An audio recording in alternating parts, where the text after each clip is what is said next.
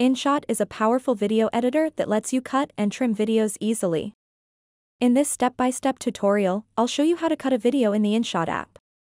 So keep on watching this tutorial to learn how to cut videos in InShot. It's quick and easy, so let's jump right in.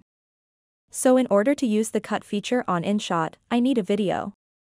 Let's tap on video. And I am simply going to select something random from the gallery. Tap this check mark at the bottom right of the screen.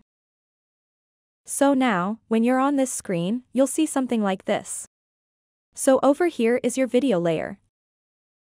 And these are all the tools that you can use to edit this video.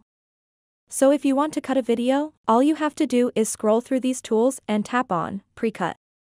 It's kind of neat that its icon is a scissor because that means that you can cut your video using it. So now you will have three options, you can trim it, you can cut it, or you can split it. So go ahead and tap on cut. And then let's say that I want to get rid of the middle part of this video. All I have to do is move these sliders to the part where I want to cut. And then if I tap this check mark over here, the part that's not highlighted will be cut out of the video.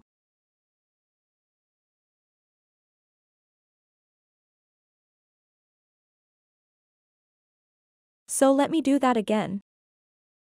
Select Pre-Cut, and then go over to Cut, and then move these sliders to the part that you want to cut, and then tap on this checkmark icon, and that part of the video will be cut out of the video. So that's all for this tutorial. If you found this video useful, please give it a big thumbs up and subscribe to this channel for more step-by-step -step tutorial videos like this one. Thanks so much for watching and have a good day.